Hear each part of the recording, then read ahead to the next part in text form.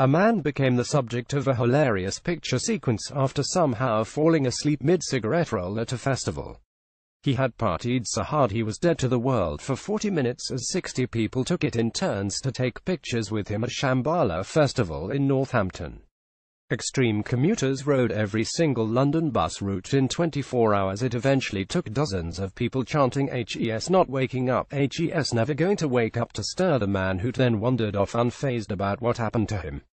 He was first spotted by India Barford, 24, and her friends as they were making the way to a fire pit by a lake in the festival to see in the sunrise before bed.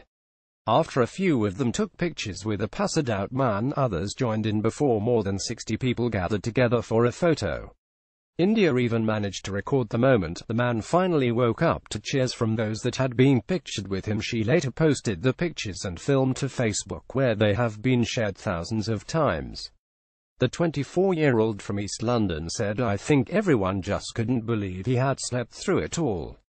Everyone was trying to be quiet but in the photos you can just see them wetting themselves laughing. Then suddenly the whole crowd started singing HES not waking up, HES never going to wake up so I started filming. It got louder and louder and the guy did wake up. Everyone started cheering for him. He didn't look fazed at all, he just had a little look around and then had another swig of his drink.